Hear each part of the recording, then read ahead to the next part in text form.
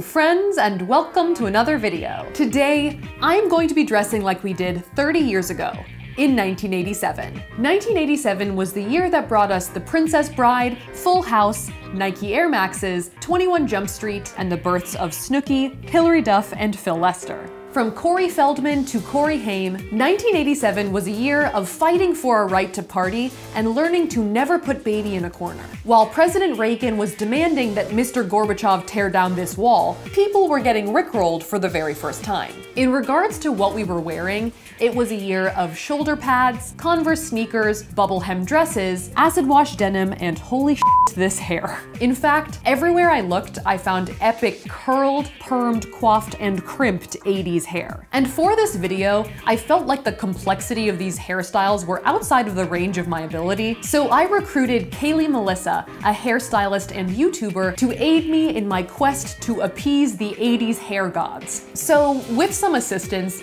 and after consulting a few Vogues, 17s, and heavy metal magazines, I think I've managed to put together three outfits that represent some of the iconic looks of the time. In general, I'm gonna be focusing mostly on American fashion, though from what I can tell, it seems like 80s style hit the whole world pretty hard. So 1987, what happened and what we wore. So my first outfit is an homage to the glam metal bands, groupies, and audiences of the year. This is not my motorcycle but it could be. 1987 was huge for glam metal, which had been an emerging music scene during the earlier part of the decade, but exploded in popularity with Bon Jovi's 1986 album Slippery When Wet. Overall, this look combines elements from several 87 acts, including the Poison Dollies, Vixen, Doro Pesch from Warlock, and Joan Jett. And also, unintentionally, a little bit of Michael Jackson. You gotta work on your moonwalk. You gotta work on it. This outfit includes slouchy boots with chains, these pleather leggings, this lace corset slash bustier thingy, an embellished leather jacket, and asymmetric accessories like these earrings and gloves. I'm sweating. I'm sweating. Inside my pants. Inside my pants. You're sweating a lot. Oh yeah. Are they gonna be hard to get off?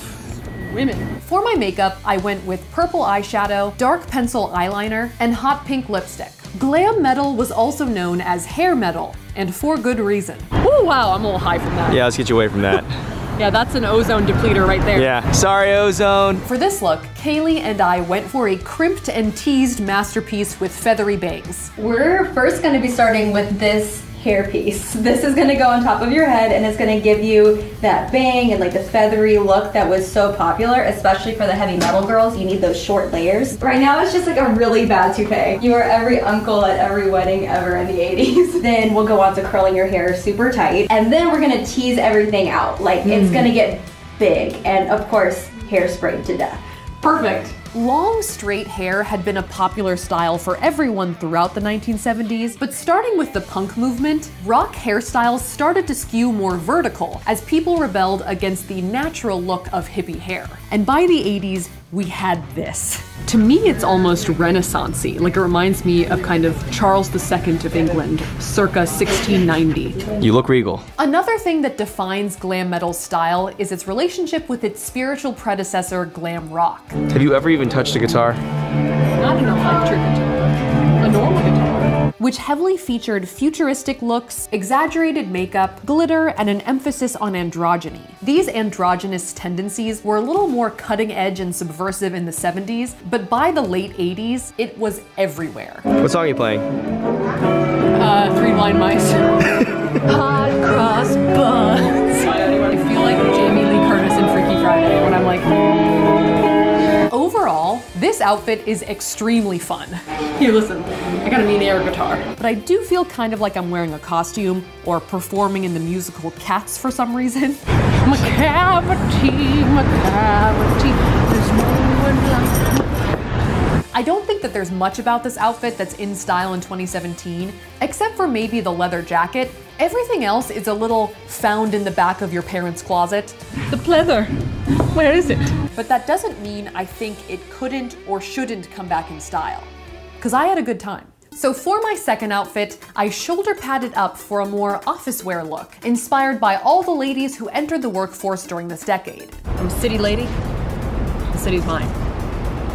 At that city. The 80s saw the culmination of a lot of societal changes that led to women taking more and more positions in previously male dominated fields. Everything the light touches, Simba, is an office that you could be working in. In a 1984 New York Times article, sociologist Andrew Hacker reported that from 1960 to 1983, the percentage of female lawyers rose from 2 to 15%, and the percentage of jobs held by women in banking and financial management rose from 9 to 39% over that same time period.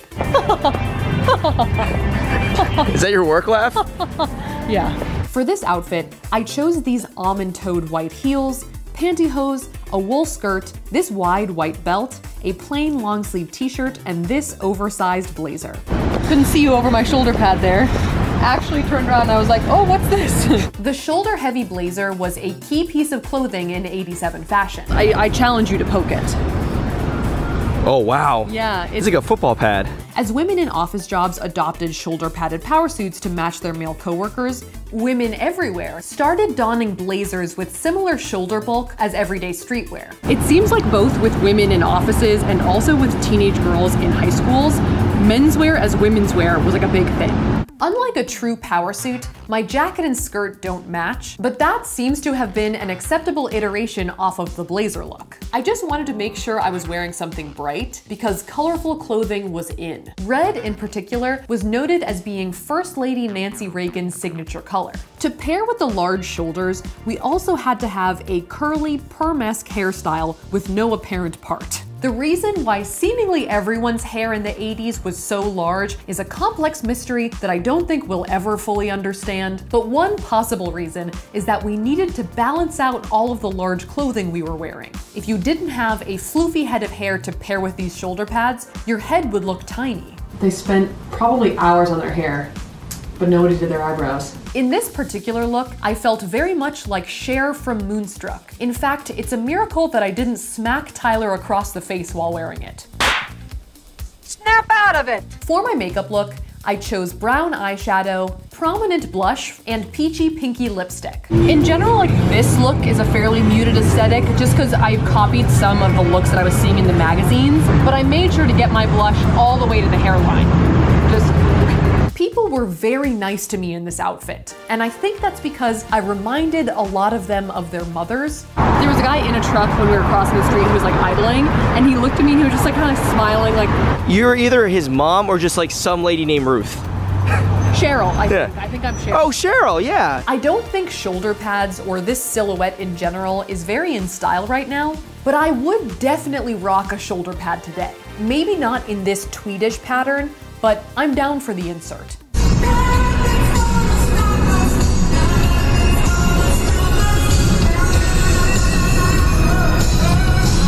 So for my third outfit, I went for a full-on denim-wearing teen girl at mall vibe. Where's the Radio Shack? Who am I kidding? I know exactly where the Radio Shack is. Yeah. Next to the food court.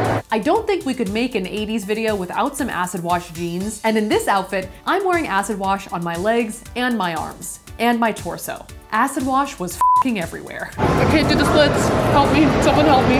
Now, in 1987, jeans could be bought pre-distressed or acid washed at a premium, but many people, including us, decided to acid wash their jeans themselves. She left her jeans in the acid a little too long. The technique we found told us to wrap up our jeans in rubber bands and dunk them in a bleach and water solution. Mm. Smells good. Underneath my acid wash, I'm wearing a white t-shirt with an abstract pattern, some bright pink Converse All-Stars, and as a nod to the queen of bowler hats herself, teen pop idol Debbie Gibson, this medium-brimmed black hat. To me, this outfit reads 100% like Robin Sparkles. Well, actually, I'm pretty sure Robin Sparkles was inspired by these gals, Debbie Gibson and Tiffany Darwish, but to me, this outfit is Robin Sparkles through and through, which just generally means teen pop musician known for performing at shopping centers. Come on, Jessica. Come on, Tori. Let's go to the mall. Be sorry. One potential reason for the mall singer phenomenon was the growing interest amongst retailers to reach Generation X, or kids, tweens, and teens born from about 1965 to 1980. Brands focused on reaching this market through celebrities. most notably pop stars on MTV. And so they brought the pop singers to perform literally outside of their stores. I don't want to get kicked out of this mall because we've already been kicked out of one mall nearby us for filming before. So I probably shouldn't do that again. Yeah, that's gonna happen. For my hair, we went for a somewhat poofy shoulder length style with bangs. Oh, yep. floof, floof, floof. And for my makeup, I chose a yellowish eyeshadow with pencil eyeliner, inspired by this look here. Maybe that's why you wore so much bright eyeshadow, so you could see your eyes underneath the bangs. and bright pink lipstick. I also went a little accessories crazy with this look, opting for white hoop earrings, white and pink bracelets, and this blue watch.